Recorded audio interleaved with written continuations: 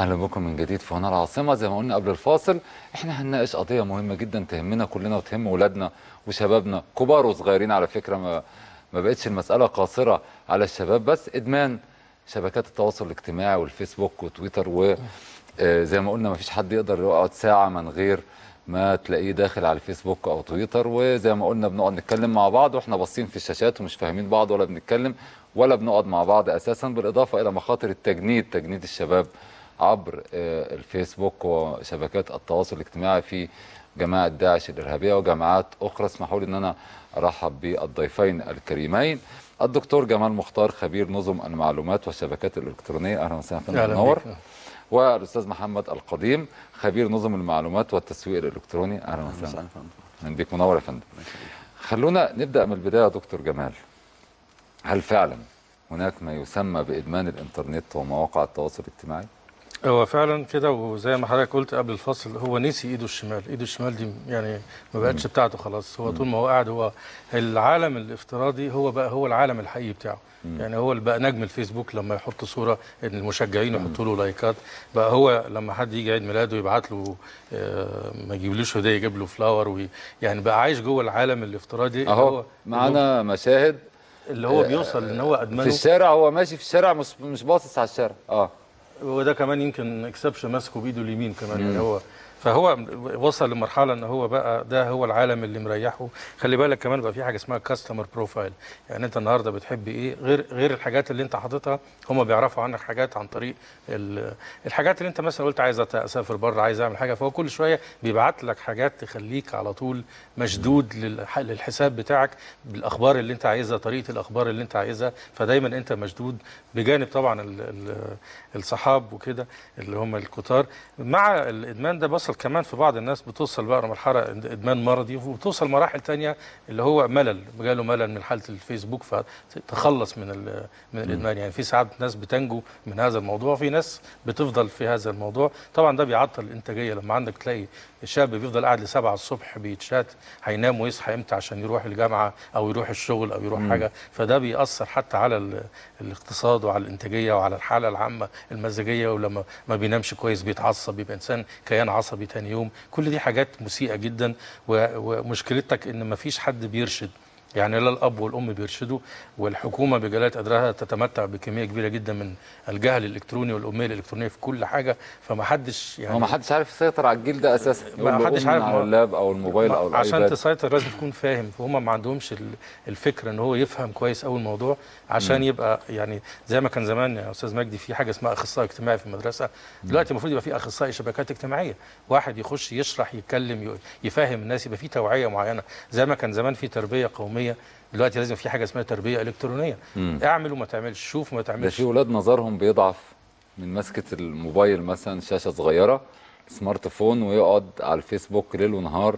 ف ومصدر إضاءة جنب عينه على طول ده غير. التعب العصبي طبعا. أعصابه بتكون بي- بيتعصب. و- ويبقى إنسان فعلا معزول عن الواقع. يعني هو كل حاجة عنده بيبص لها بال c- بال click. هو شايف الحياة كلها عنده click. وطبعا بيساعد على كده إن الأهالي مستريحين الولد بعيد عنهم وساكت وهي المفروض إن في بس هو مسروق منهم صح؟ آه طبعا مسروق من المجتمع كله مش مسروق بس منه مسروق من المجتمع كله. الطاقة الإنتاجية بتاعتك ال power force أو ال workforce بتاعت الناس مختفية بسبب الدخول في آه هذا الموضوع. دخل ليه بقى إنه كان عنده مشاكل مش عارف يتعرف على بنات في اللي شايل أنا مش هنتكلم بس على الولاد البنات كمان. اللي شايلة صورتها حاطة صورة واحدة ثانية اللي شايلة صورتها حاطة صورة ورد. وده بتلاقيه كتير قوي في في محافظات مصر ما يحطوش صورهم. و و وأحيانا بيبقى اسم مستعار هو حاسس إن هو بي بيطلع اللي جواه من خلال اسم أو هي بتطلع اللي جواها من خلال اسم مستعار. عشان كده إحنا قلنا موناليزا مثلا مش عارف إيه الحاجات اللي بنشوفها. قلنا رفع الستار فانكشف المجتمع. اكتشفنا كل الأمراض النفسية بسبب هذا الموضوع. وطبعا إحنا قلنا الفيسبوك هو نادي بلا أسوار. مفيش حماية خالص لا في حماية للخصوصية ولا في حماية للأمن يقدر حد. يحلل المجتمع المصري بالكامل من خلال الفيسبوك؟ أسهل ما يمكن سواء كبني آدم أو ك... ك system. يعني software يحلل يشوف العادات يشوف الزحمة فوق كوبري 6 أكتوبر الساعة كام يشوف ال... ال... الناس في وقت الزحمة هتعمل يعني إيه. أكيد في أجهزة مخابرات بتدرس ده. مخابرات وأجهزة ha- و hackers وجهات إرهابية. وإحنا للأسف آه. آه إحنا بنساعد في كل ده بكل اسف إحنا. بكمية المعلومات ال... ال... المرطرطة أنا دايما بقول خلينا بخلاء في المعلومات ما ينفعش نبقى الكرم العربي ده نحطه في في المعلومات يعني نتكلم كتير. يعني. بالظبط كده وعلى مستويات كبيرة وعلى مستويات آه، مناصب في الدولة تلاقي نفس الكلام نفس الدنيا عنده ما ما عندوش ال- الوعي الأمني إن هو يحافظ على نفسه أو على مركزه ويخبي نفسه في بعض الأحيان لما يكون مطلوب منه إنه هو يخبي نفسه. إحنا لسه مكتشفين حاجة دلوقتي أنا مش اعتذر بس عن التطويل. إحنا لسه مكتشفين إن إحنا كلنا طلب مننا إن إحنا نحط رقم الموبايل بتاعنا عشان نحمي آه، حسابك على الفيسبوك من الهاكر. لأن الهاكر لو دخل على حسابك فالفيسبوك بيبعت لك بيقول لك إن في حد دخل تاني على الموبايل. آه ده موجود أصل أنا مش فيسبوك يعني. ده نوع من أنا مش موجود على فيسبوك ولا تويتر فما أعرفش الحاجات دي OK. ده يعني بيحط رقم موبايله علشان يعمل آه، حماية للحساب بتاعه. ده من ضمن الحاجات. هو طبعا بيحطوا لكذا حاجة. فدلوقتي يعني لسه آه، الجارديان لسه منزله امبارح خبر بتقول لك الصحيفه إن- البريطانية. آه إن هذا الرقم الموبايل اللي بيتحط ده أكبر وسيلة للتجسس على هذا الشخص لأن أي هاكر دلوقتي يقدر يخش عن طريق حاجة اسمها API اللي هي application program interface دي آه، حاجة سامحة بيها الفيسبوك اللي أي حد بيعمل application إنه يتواصل مع الفيسبوك automatically ويديله معلومات. فممكن يحط رقم حضرتك يروح باعت له صورة مجدي الجلاد واسمه بالكامل ورقم ونوع موبايله. ده المعلومات الأساسية. ولو هو عنده شوية ذكاء يخش يجيب أكتر من كده. يجيب الرقم الكودي بتاع الموبايل. ممكن بعد كده يحط لك ال- البرنامج بتاع التجسس. automatically عن طريق إن هو عنده كمية كبيرة جدا من المعلومات فتبقى موبايلك قاعد مطفي بس هو شغال الكاميرا بتاعته شغالة. أنت عايز تبعت message وبيسمعني؟ طبعا. وممكن تبعت message ل...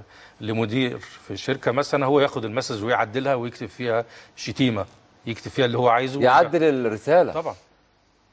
كل ده عن متعب طريق الرقم اللي محطوط على الحساب في الفيسبوك. آه ما هو لو خلاص عرف يركب على الموبايل هيقدر يعمل اللي هو عايزه. وفي قراصنة بيعملوا ده.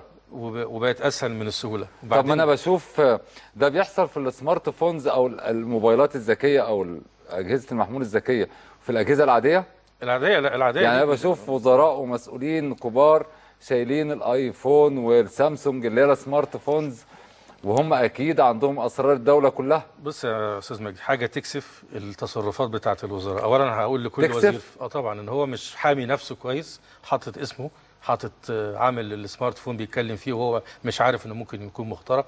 أنا بنصح أي وزير في مصر مش عايز مش تتكلم. مش هو مش حاطط معلومات ده حاطط البلد نفسها هو مش بيحمي البلد نفسها. وحاطط إيميله والايميل وموبايله. يعني أنت المفروض كوزير تخبي نفسك. لو أنت عندك smart phone تبقى فاتح إيميل مخصوص للموبايل عشان لو حد عايز يركب حط اسم حتى مستعار وانت جوه الموبايل عشان ما يجيش بعد كده بال Truecaller يعرف انت أي واحد يعرف انت مين. أنا بقول للوزراء ما أحب تتكلموا كلام مهم اشتروا تليفون أبو 100 جنيه أبو لمبة ده واتكلموا فيه.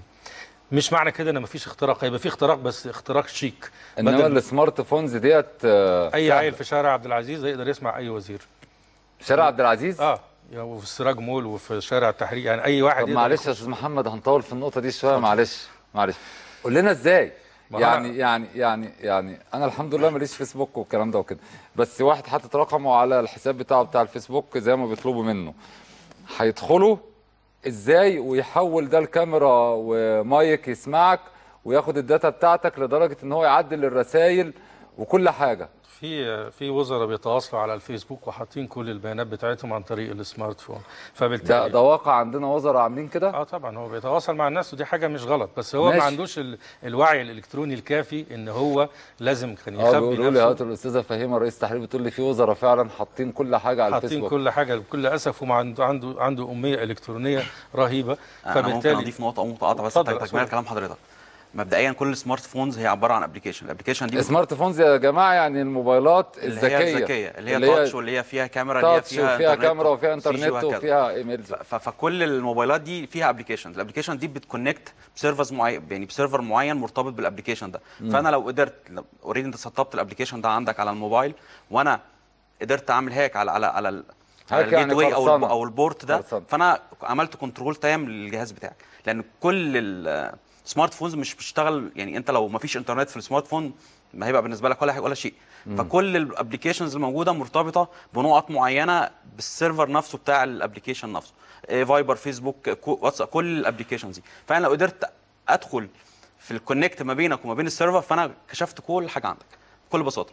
وأدخل أعمل اللي أنا اللي أنا عايزه. عايزه. خلاص أنا بقيت control موبايل بتاعك طبعا مع تكملة آه، دكتور جمال إن هو إزاي بقى بجيب الرقم والحاجات دي كلها ممكن من خلال الفيسبوك لا ممكن من خلال طرق كتيرة؟ واصحابه يعني أصحاب. الوزير وزمايل الوزير و... وأكتر من كده وجهات سياديه كل حاجة تبقى سهل جدا بالظبط. إن أنا أخش أعمل اللي أنا عايزه. فانا لو اعترضت ال- ال- ال connect اللي حاصل ما بينك وما بين السيرفر ما بين الموبايل والسيرفر فأنا خلاص طب بالنسبة لي مكشوف تمام. الله. طب إزاي الأجهزة الأمنية على مهمة جداً. الاتصالات ما بتقولش الوزراء لا والمسؤولين. أنا عايز أقول لك إن ما إن- إن- تستخدموش إن في الولايات المتحدة وفي ألمانيا وفي الدول الغربيه كلها اولا منعوا البلاك بيري تماما بالنسبة للمسؤولين الكبار منعوا ال smart phones. ولو أنت هتستخدم smart phone لازم بيتاخد في المخابرات الأول وبيت بيتعمل له حماية معينة وتفضل استخدمه. لكن على الملأ كده واستخدم تليفون من السوق مستحيل ممنوع ده تمام أنا أقول لك بمنتهى ال- الثقة أنا لا أعتقد إن في جهات أمنية شيء أنا مع في مصر شرحت الوزراء آه، مخاطر الإنترنت. بالقدر الكافي لأن في ناس برضو في الجهات دي مش قادرة تفهم الموضوع بالقدر الكافي هم كويسين وبيعملوا حاجات كويسة بس هم مش كفاية هم كويسين اكاديميا ممكن تقنياً. لسه. بالظبط لأن. إحنا بعدين أقول لك حاجة معلش بمنتهى الصراحة لما يكون ثمن الغلطة إن ضابط يموت طبعاً. أو حد يموت تبقى حاجة أو صعبة. معلومة امن قومي تتسرب. آه لما يكون ثمن الغلطة إن أنا واحد يقول لي إزاي تصنع أصنع قنبلة أو أحط أو يكون ثمن الغلطة إن واحد آه، مش عارف ال- ال- البلد بالقدر الكافي من هذه الثغرة الإلكترونية يبقى أنا لازم أتكلم بقلب جامد أقول عندنا تقصير وعندنا لازم نفوق شوية لهذه ال- الكوارث اللي بتحصل في هذا العالم الإلكتروني. طب أستاذ محمد. إزاي بيتم تجنيد الشباب في غرف الشات بقى في جماعات إرهابية وداعش؟ وسمعنا عن حالات من دي كتير. طيب. انه التجنيد بيتم من غير من خلال الشات أو المحادثة طيب. في هذه الغرف عبر الفيسبوك. هو هو مبدئيا خلينا نقول إن المجتمع مفتوح قوي فداعش حتى لو مش بتلاقي طريق على الفيسبوك أو الحاجات الرسمية بيبقى عندها حاجات يعني زي ما بيقولوا الباب الخلفي بتقدر تعمل فيه غرف دردشة خارج السيطرة أو سيطره الحكومات عموما في سيرف- في سيرفرات في بلاد ما. فده هو دلوقتي أنا إزاي هجند شاب صغير؟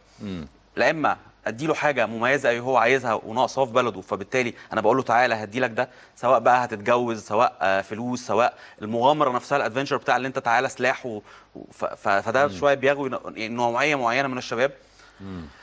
الجزء الثاني تعالى أنا أنا هديك عربية وهديك كذا وهديك كذا وهديك مميزات كذا. وإقناعه. بأفكارهم والخطاب الديني. ال- الخطاب الديني ده في النهاية أنا أعتقد إن هو آخر حاجة لأن هم بعاد تماما عن الدين. يعني هو آه. الموضوع شوية بيبقى فيه في خداع بالدين. بالظبط هو بيستغل طمع الشاب و... واندفاعه في الأول. و- بالظبط. فزي مثلا في حالة مشهورة قوي مصرية اللي هو صور وكان ولد بيلعب body building شاميه كان أعتقد اسمه مش فاكر. ده ده ولد كويس جدا. تعالى من- عن طريق المغامرة وتعالى هتعمل وكذا وهتبقى قائد وهتبقى وهتبقى. فبينجذبوا في هذه الغرف لكن السيطرة عليها صعبة. السيطرة عليها اللي انت تمنعها من المنبع لأن هي بتبقى موجودة في سيرفرات ما تقدرش الدول ت control عليها الدنيا. لأن يعني بس في طريقه صعبة جدا. في طريقة اولا يعني طريقه الحجب في مصر ان أنا أحجبها اللي أنا ما. أخليش الشاب يوصل ليها. لا لا خالص. إحنا وإحنا صغيرين يتقال لك إيه؟ لما تعدي الشارع بص يمين وشمال لو حد اداك حاجة ما تاخدهاش. اتقال لك يعني اتقال لك شوية نصايح وأنت صغير المفروض دلوقتي ال ال الأب والأم يكونوا متدخلين إن هم واعيين الوعي الكافي طبعاً. يتكلموا مع أولادهم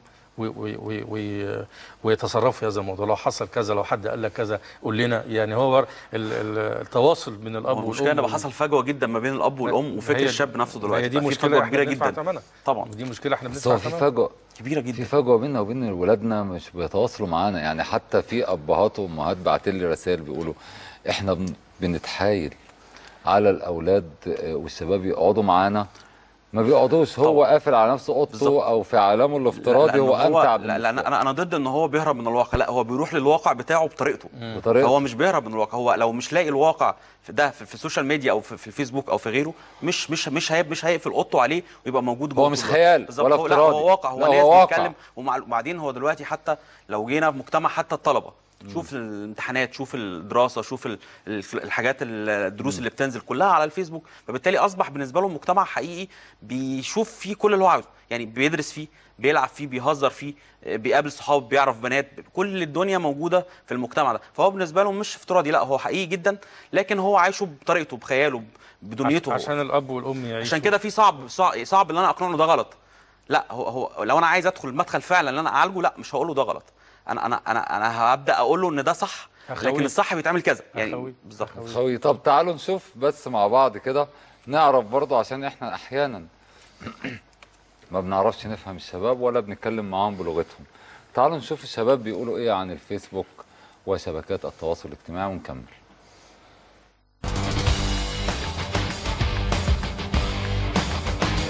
النت لو في فكرة وحشة وأنا عايز أنساق وراها هي عجبتني وأنا عايز أنساق وراها فهينساق هي لو في فكرة حلوة هي عجبتني برضو وأنا عايز أمشي وراها همشي. هل أنت مدمن فيسبوك؟ آه إدمان. في ناس بيكونوا إدمان 24 ساعة يعني أنا بشوف ناس 24 ساعة ماسكين الموبايل مش بيسيبوه. لدرجة إن هم بياخدوا بطارية وهم ماشيين بيشحنوا بيه الموبايل. في ناس بتنضم آه، من الفيس وكده لجماعات إرهابية. آه، ده ناتج لأن آه، المنسقين بتوعهم بيستخدموا كويس وبيعرفوا إزاي يجذبوا الشباب. إذا كانت أسرة فق- فقيرة بيدور على العامل المادي. إذا حد أغراه ماديا وهو مش متربي كويس ومش متأسس فممكن يأثر عليه يدخل له ارهابي يدخل له أي حد عن طريق المادة وخاصة هو قاعد في البيت عطلان.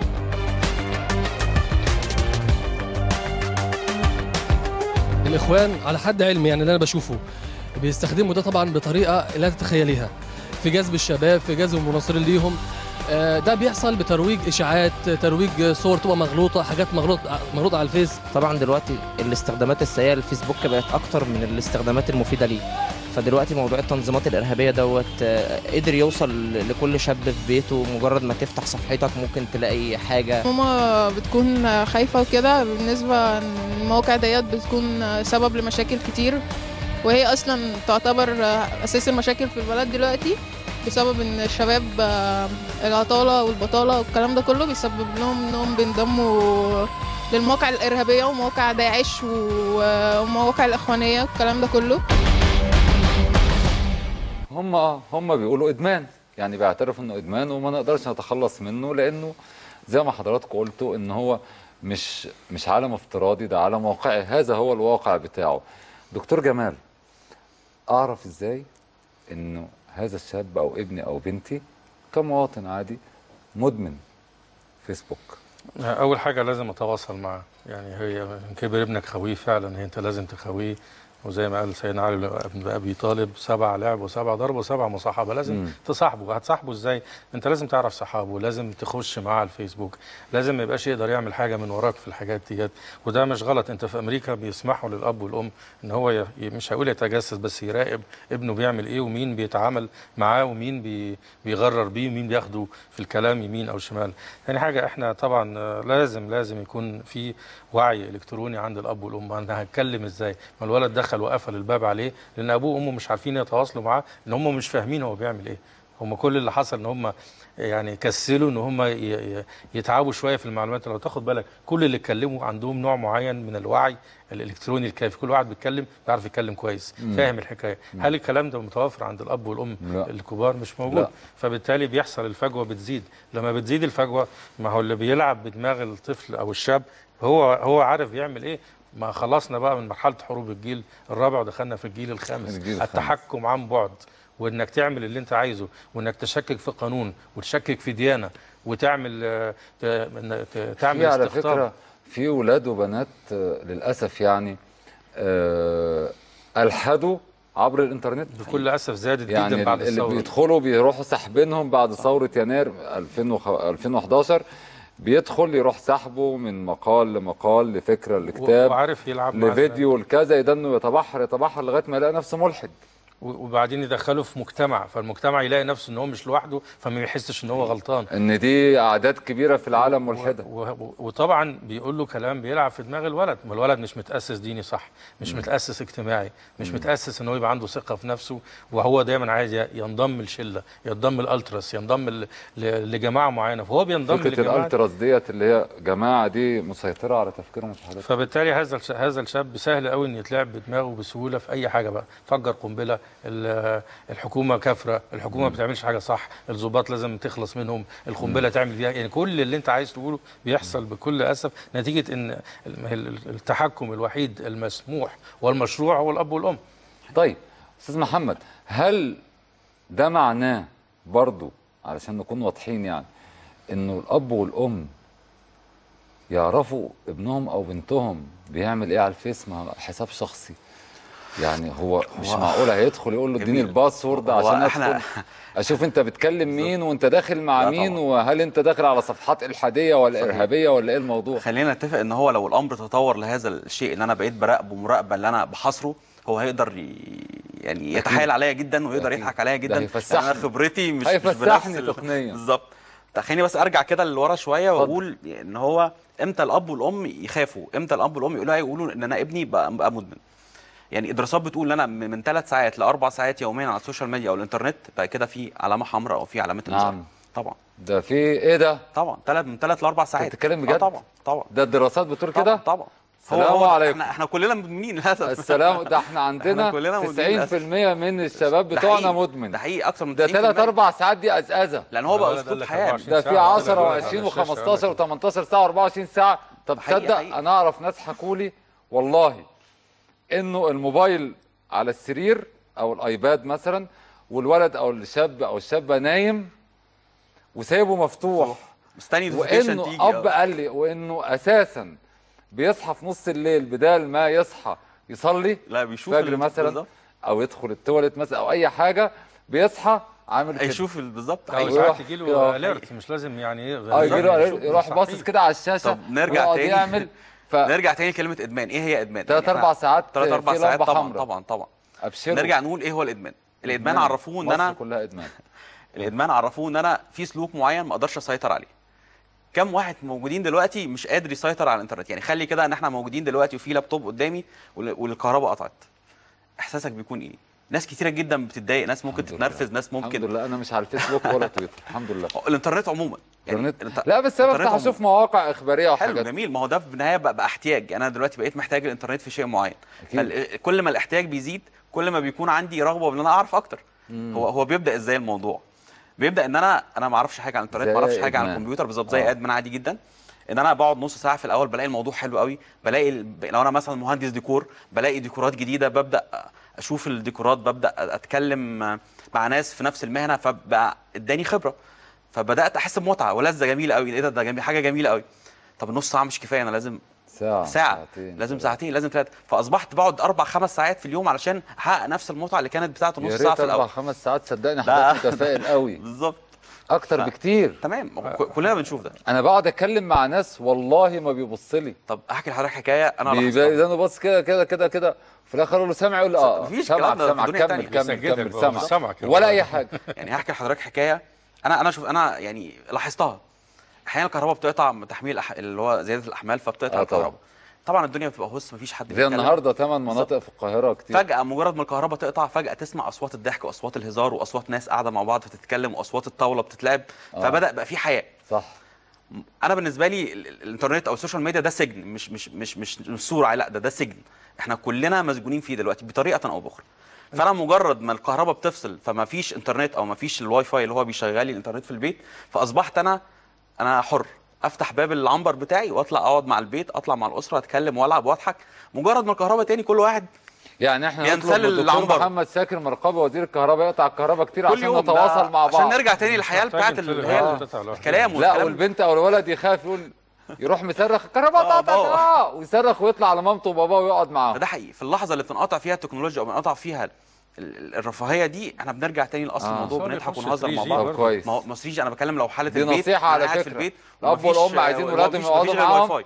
افصل صوت الكهرباء. الناس بتضحك وبتلعب لا يفصل سكينة آه، الكهرباء عشان يقعدوا هنتكلم معاهم. على نصيحة بحق وحقيقي من واحد آه، زي حضرتك عن طريق الأستاذ ماجد آه، الجلاد هنقول لازم تنشأ وزارة للإنترنت ولازم يطلع قانون عربي موحد للجريمة الإلكترونية مم. يعني بس اللي تنشأ وزارة الإنترنت دي لازم تطلع وزارة بحق وحقيقي مفيش حاجة اسمها إنها تكون خصوصاً تابعة موضوع. الاتصالات ولا الكلام ده خالص خصوصا التشهير يا دكتور الانترنت يعني التشهير ال- ال- ده- ده القانون ده. القانون ده لازم يطلع موحد تطلع من جامعة الدول العربية مفيش حاجة اسمها يعني ما انت عشان تطلع قانون محتاج ناس وناس أغلبيتهم كبار في السن وعندهم أمية إلكترونية مش ما ينفعش يطلعوا. قانون القانون ده لازم يتم الاستعانة بالشباب اللي هي إحدى الكبائر في العالم العربي إنك تستعين بالشباب فاحنا عايزين نستعين كبيرة آه. طبعا يعتبروها يعني. جريمة. زي ما وربنا هيدخلنا النار لو استعنا بالشباب بالظبط. فهي لازم يطلع قانون عربي. ما ينفعش يطلع قانون مصري فيطلع لك واحد من تونس يبوظ لك اللي انت بتعمله في قانون مصر. عربي موحد. طبعا.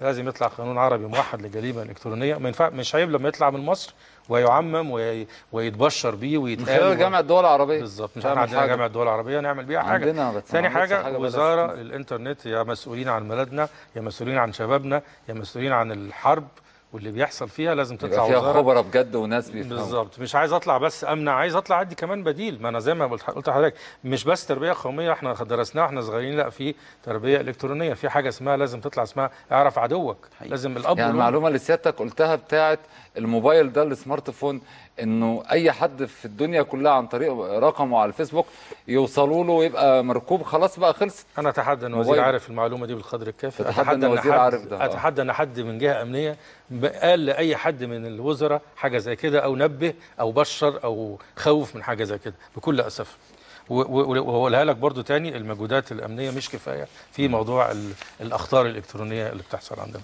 طيب أسف. تكملة ممكن واضح إن بس إحنا؟ هن... أنا وقت خلص طب اتفضل سريعا. تكملة بس الكلام دكتور إحنا اللي هو اعرف عدوك. أنا فين من الفيديوهات اللي بتبثها داعش؟ من الآيات القرآنية اللي بتيجي في مقدمات فيديوهات داعش. أنا فين من من, من الأحاديث اللي بيقولوها في الفيديوهات بتاعتهم؟ برافو عليك. أنا لازم أفند ده كويس قوي بشيوخ عصريين يقدروا يأثروا في الشباب مفيش فعلا؟ شيوخ عصريين. بالظبط. مفيش أو ايا كان ايا كان شباب ايا كان حتى لو إعلام حتى. لو إعلام. أنا أنا أنا ما اخافش من الفيديوهات دي. عشان كده الرئيس عبد. الفتاح السيسي كاد إنه يصرخ.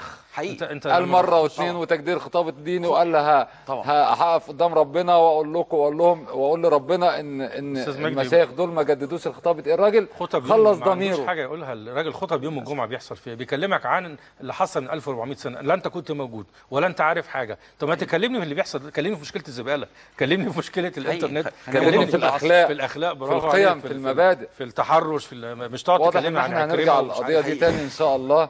وهنعمل لها وقت أكبر. بشكر آه، الدكتور جمال مختار خبير نظم المعلومات والشبكات الإلكترونية شرفت ونورت وبشكر الأستاذ محمد القديم خبير نظم المعلومات والتسويق الإلكتروني. هنروح لفاصل. حلقة ممتدة لسه لسه. آه، هنروح لفاصل ونرجع نكمل تاني.